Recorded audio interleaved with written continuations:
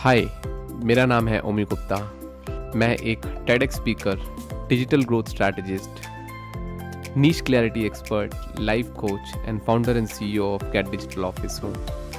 और मैं इस पॉडकास्ट सीरीज़ के थ्रू आपको बताने वाला हूँ कि कैसे आप अपना पैशन आइडेंटिफाई कर सकते हैं और उस पैशन को आप अपने बिज़नेस में कैसे कन्वर्ट कर सकते हैं, कैसे आप अपने आप की ब्रांडिंग कर सकते हैं और मार्केटिंग करके अपने बिज़नेस को नेक्स्ट लेवल पे लेके जा सकते हैं। कुछ बातों का मतलब कुछ मतलब की बातें।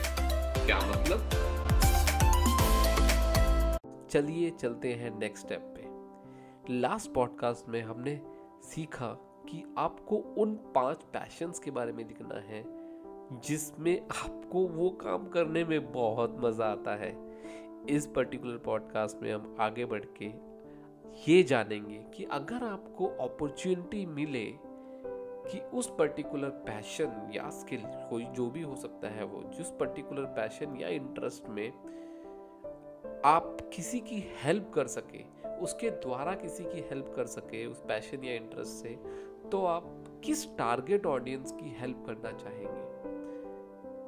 फॉर एग्ज़ाम्पल आपको समझाता हूँ मैं अपने एग्ज़ाम्पल से, जिससे आपको और क्लैरिटी मिलेगी इस पर्टिकुलर पॉइंट को करने में, कि आप, या मैं जैसे अगर मैं एग्ज़ाम अपना एग्ज़ाम्पल लूँ, कि मुझे पब्लिक स्पीकिंग बहुत पसंद है, मैं पब्लिक स्पीकिंग के न्यूएंसेस को जानता हूँ। तो अगर मैं पब्लिक स्पीकिंग किसी को सिखाना चाहूँ तो मैं पब्लिक स्पीकिंग जेनेक्स जो कॉलेज स्टूडेंट्स होते हैं, या जो नई नई जॉब में जाते हैं उनको मैं पब्लिक स्पीकिंग ज़रूर सिखाना चाहूँगा, क्योंकि इस पर्टिकुलर दौरान अगर आपको पब्लिक स्पीकिंग आती है तो आप बढ़िया इंटरव्यू क्लियर कर सकते हैं।